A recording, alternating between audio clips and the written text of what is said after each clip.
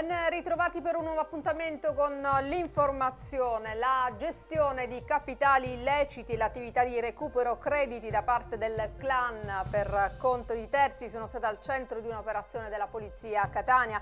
Le indagini della squadra mobile hanno interessato il vertice di Cosa Nostra Etne, evidenziando particolare attitudine del Gota, della famiglia Santa Paola Ercolano verso il settore economico attraverso il reimpiego di capitali illeciti.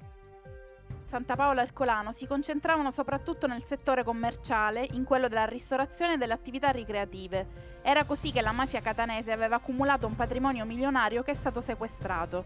Ristoranti, impianti sportivi, un lido, un autolavaggio e anche un salone di bellezza erano intestati a prestanome della famiglia mafiosa. Con l'operazione Bulldog la polizia di Catania ha arrestato otto persone, tra cui Roberto Vacante, nipote del capomafia Nitto Santa Paola. Per la moglie di Vacante, Irene Grazia Santa Paola, indagata per intestazione fittizia di beni, e per altre sette persone è stato disposto invece l'obbligo di dimora. La mafia conferma la sua vocazione imprenditoriale, così come spiega eh, il capo della squadra mobile TNEA Antonio Salvago al microfono di Francesca Aglieri. Il cuore della famiglia Santa Paola perché sono stati colpiti Roberto Vacante che è sposato con Irene Santa Paola ed è il soggetto attorno a cui è girata tutta l'attività di indagine e ci ha consentito di individuare tutta una serie di attività imprenditoriali eh, intestate a prestanome che in realtà erano riconducibili all'organizzazione. Un sequestro milionario che ancora bisogna quantificare? Sì, certamente un sequestro milionario, sono eh, otto eh, società che gestiscono eh, attività commerciali delle più disparate, si va dal stabilimento balneare ai campi da calcetto, alla ristorazione, a parcheggi ed altro che ci fa capire quanto la, la mafia sia interessata all'aspetto imprenditoriale e quanto sia importante per, per lo Stato aggredire i patrimoni illecitamente acquisiti.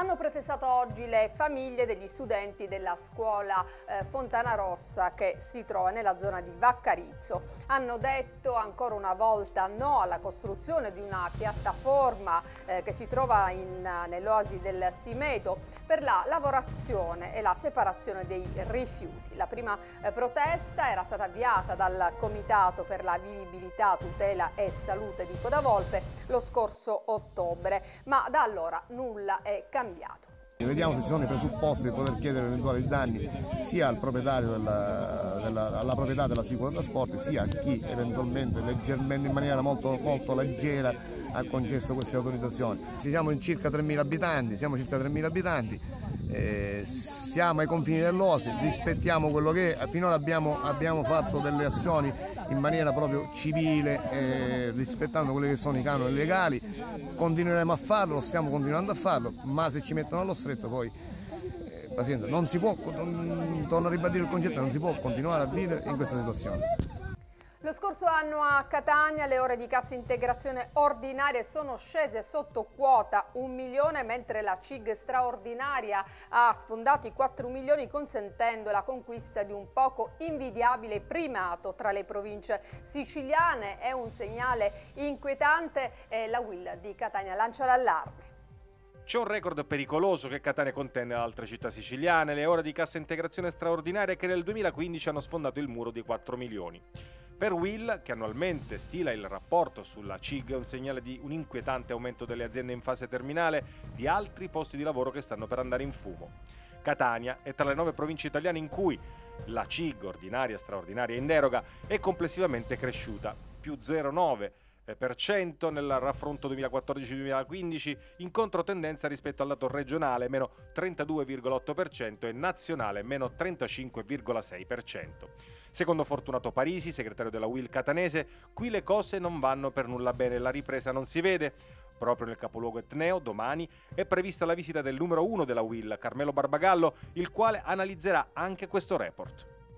Si lavora a traffico aperto per il rifacimento di alcune arterie cittadine e intanto ha destato clamore e indignazione il tappetino d'asfalto sul sagrato della cattedrale di Catania. Ma si tratta di un caso o di una bufala? A Catania lavori in corso in questi giorni per il rifacimento di alcune strade oramai dissestate. La città si prepara alle festività catine con un restyling alle vie che ospiteranno la processione. Sono iniziati infatti i lavori lungo Via Libertà, dove una corsia è stata chiusa al traffico per rifare il manto stradale. E proprio a causa del make-up in vista della festa, si accendono i riflettori anche su una zona centrale, centralissima. Si tratta del sagrato della cattedrale che è stato recentemente rattoppato con dell'asfalto. Il risultato ha suscitato molte polemiche sul web, fra cui quella del critico d'arte Vittorio Sgarbi, ma anche i passanti stamani non risparmiano giudizi severi. È la rappresentazione plastica del degrado, ur- del degrado urbano che vive eh, l'intero complesso cittadino. Ad onor del vero, da più parti è stato segnalato che anche prima di questo intervento realizzato in dicembre per evitare di scivolare ed in vista proprio delle festività catine, in quell'area c'era un tappetino in asfalto che con l'usura è andato via via sbiadendosi. Il colpo d'occhio non eccezionale, ieri come oggi, caso o bufala che esso sia. Si scia già da qualche giorno sull'Etna, sentiamo le raccomandazioni delle forze dell'ordine.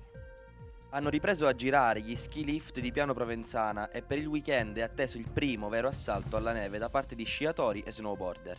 Sulle piste dell'Etna hanno già preso servizio le forze dell'ordine, con le unità sugli sci di polizia, carabinieri e guardie di finanza, questi ultimi specializzati soprattutto nelle operazioni fuori pista con la collaborazione della forestale.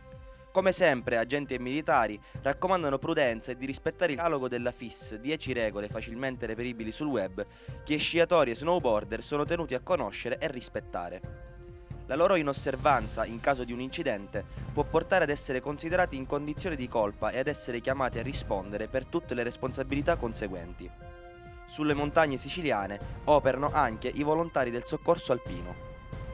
Ed è tutto per questa edizione del nostro giornale, vi ringraziamo per essere stati con noi, vi ricordiamo di seguirci attraverso i nostri giornali online di riferimento, appuntamento alla prossima!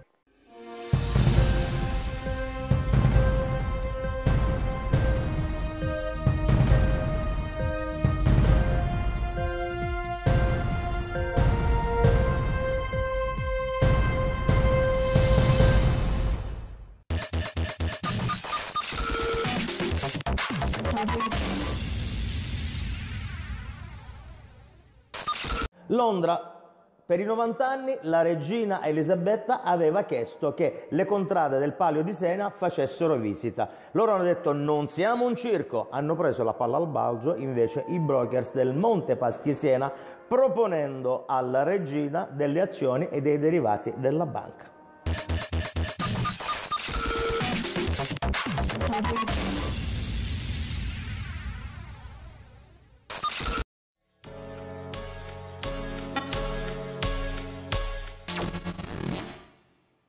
Sposami.